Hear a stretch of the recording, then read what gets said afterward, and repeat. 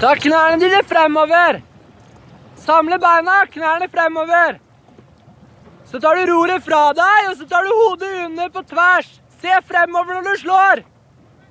Se fremover. Slå. Slå.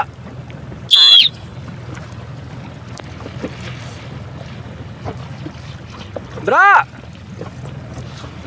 Knærne fremover! Knærne fremover når du slår! Se fremover! Da er det lettere å slå!